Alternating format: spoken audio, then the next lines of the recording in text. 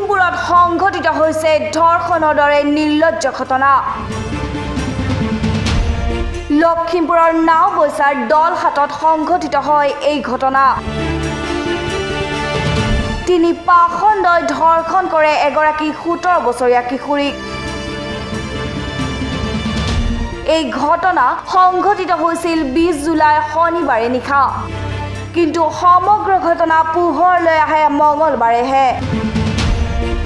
দলহাটৰ সুবল বিশ্বাস নামৰ কিশোৰ প্ৰেমিকৰ ঘৰলৈ গৈছিল কিশোৰীগৰাকী। নিজৰ ঘৰলৈ উভতাৰ পথত কিশোৰীগৰাকীক প্ৰদীপ চৰকাৰ ওৰফে খুচি নামৰ যুৱকজনে লগত থকা আন দুজন বন্ধুক্ৰমে সঞ্জীৱ বিশ্বাস আৰু ৰাজেন ভূমিছৰ লগ লাগি উপৰ্যপুৰি ৰাতিটো ভয় ভাবুকিৰে চাকু দেখুৱাই চলাই ধৰ্ষণ। ছোৱালীজনীক লৈ গৈছে। তাৰপিছত সুবল বিশ্বাসে আকৌ মোৰ ঘৰত লৈ আহোঁতে কিজান লৈ আহি আছিল বুলি সিহঁতে কথা হিচাপে লৈ আহি আছিলে। ৰাজেন ভূমিজ কুশী চৰকাৰ সঞ্জীৱ বিশ্বাস। ল'ৰাটোক মাৰপিট কৰি ছোৱালীজনীক লৈ গ'ল মানে। এক ৰাতি ৰাখিলে মানে অত্যাচাৰ কৰি অত্যাচাৰ কৰিলে ছোৱালীজনীক ৰাখিলে এক ৰাতি। চাকু তাকু দেখাইছে এনে ভয় দেখাইছে। ছোৱা- ছোৱালীটো আমাৰ ঘৰত গৈছিলে।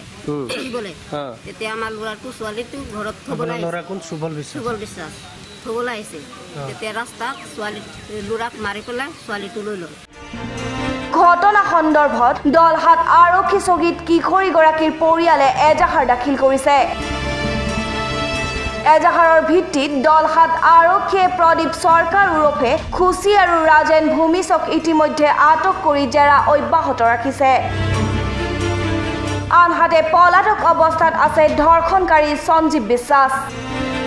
লখিমপুৰৰ পৰা জিয়াউল আলীৰ ৰিপৰ্ট পি আই নিউজ।